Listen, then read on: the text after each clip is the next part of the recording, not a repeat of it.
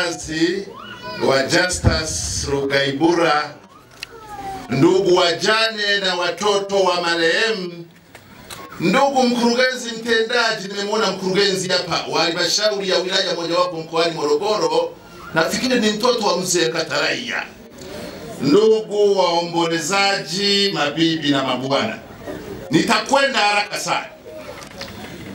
Nimepata taarifa hizi kwa masikitiko makubwa za msiba huu mzito kutoka kwa Fumo Felician wa Mwanza, lakini nikagoma kuyaamini. Nikamwambia hebu nihakikishie Fumo, akaniambia ayambikira niero libaruti. Hapo nikaamini na nikasema tumepoteza, mbuyu umeanguka. Ndugu zangu, mimi marehemu Justus Rugaibura nimemfahamu mwaka wa 2015 nikiwa mwenyekiti wa CCM wa wilaya ya Bukoba vijijini. Nilikuwa na mkutano pale Victoria Sparti Hotel wa kuhamasisha kuleta maji katika kata ya Karabagaine. Ghafla nikakutana na marehemu Justice akiwa na kaka Fizi Karugira. Basi nikaona Justice ana wavulana watatu wenye nguvu, wenye misuli, nikaogopa. Lakini hapo hapo nikaona vijana kama watano, sita, saba wakimiminika, Justice anawakatia, wakimiminika, Justice anawakatia. Nikamuuliza Afidh, huyu mzee ni nani? Anagombea jimbo gani? Anataka ubunge? Justice? Afisa akaniambia hapana, huyu ni Justice Rugaibura kwa vile niliona ile spidi ya watu wanavyomiminika na kusalimia kwa adabu na nini, nikataka kusema chabu mzee. Afrika akasema hapana, yeye Justice akadakia akasema shikamoo mzee Nkwama. Afidha nikamuuliza wewe unastahili kunisalimia mimi shikamoo? Akasema ni mdogo. Nikasema sasa mimi nina uzee gani?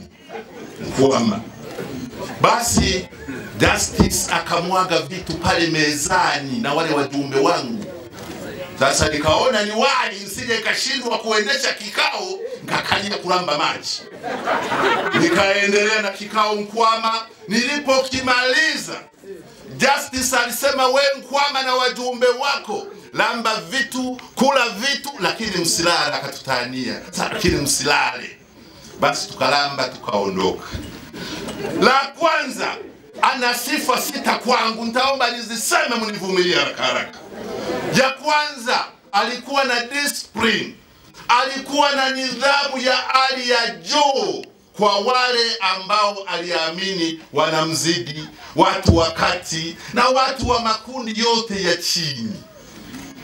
Alikuwa na adabu jasiri, tangia tumefahamiana siku hiyo akija hapa kwenye kasri lake lazima anipigie simu, mzee Nkwama, uko wapi? Nikamwambia niko Itawa nyumbani kwao, na mimi kwangu hapo tu jirani, dakika mbili kwa mguu, kwa gari ni dakika moja tu. Basi Justice anakuja na nisalimia, kama anaiboa ananiachia, lakini mara zote alikuwa ananiachia iboa ogwa wa munaga banya kutura wa mwegwa basi tukaendelea. Hiyo sifa ya kwanza ya Justice. Justice alipenda kusaidia jamii, alisaidia Chama cha Mapinduzi, alisaidia watu binafsi, na nitatoa mifano yote yako hapa. Nakumbuka kama miaka kumi na miwili iliyopita rafiki yangu Jamali Kalumna alivamiwa na majambazi wakampora nyumbani kwake lakini Justice kwa sababu nilikuwepo, siadisiwi, alimwachia Jamali Kalumna dola elfu moja yasobeka Jamali. Lakini lakini ndiyo maana mnaona haya masikrini yote haya masikrini eh, eh, eh, shahidi ni huyu mke wa Jamali nimbeya haya Ndiyo maana Jamali maskini yote haya ametoa bure, anafadhila. Jamali uko wapi bwana? Haya, naendelea. Lakini Justice Rugaibura, Justice Rugaibura, mimi Nkwama alinisaidia sana katika sekeseke langu lile la, la, la, la shauri ya bilioni moja na milioni mia mbili kumi na sita alinisaidia sana katika tabu hiyo, na nilipotoboa mwaka jana tarehe 29 mwezi wa kumi na moja Marehemu Justice alinipa ofa. Nilisikia naenda kwa Rose Precision Kufika tiketi ya ndege, nikafika Dar es Salaam. Nikaona, nikaona kwanza kwe, ni bora niende nimsalimie. Nikafika kwenye makasri yake. Moja liko Mikochani, jingine liko Mbezi Beach, ni makasri kweli kweli.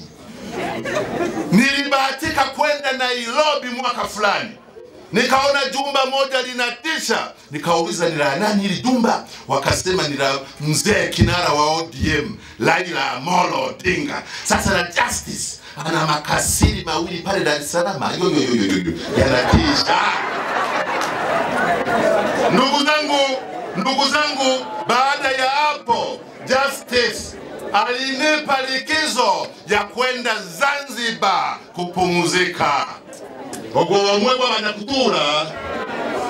ndugu zangu Justice alikuwa dande alikuwa smati alipenda suti na ndiyo maana mimi leo Novatus Nkwama nimepiga kasuti yaka kumwenzi rafiki yangu Justus Rugaibura.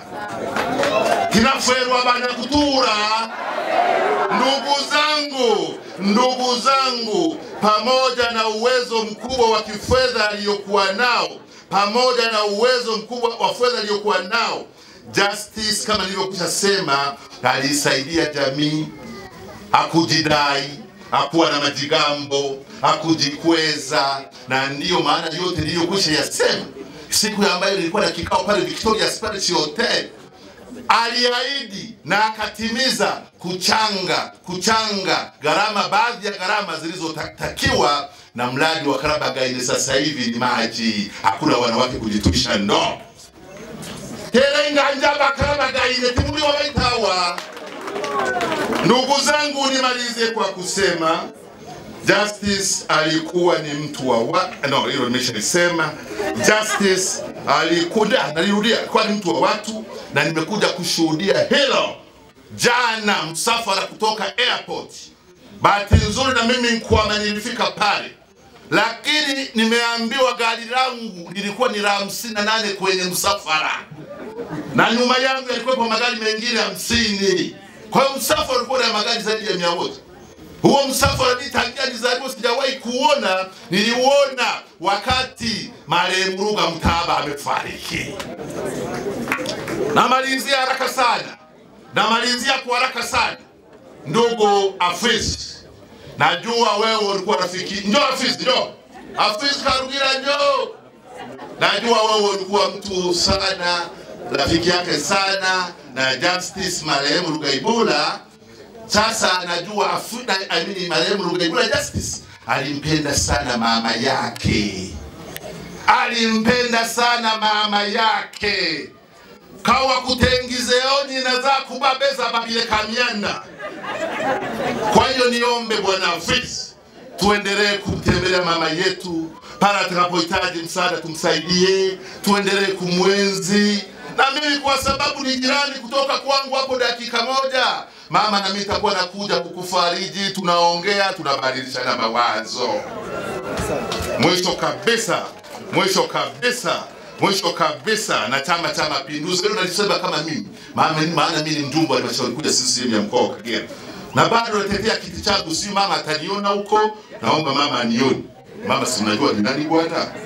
Basi kwa hiyo ndugu zangu niseme chama tumepoteza. Rais Samia Suluhu Hassan amepoteza pia, maana Justice alikuwa bado ni kijana mdogo, anategemewa na taifa hili. Mwisho kabisa niseme Bwana ametoa, Bwana ametoa jina lake. Mimi nasema libarikiwe sana na asanteni sana kwa kunisikiliza na poleni sana. Kristo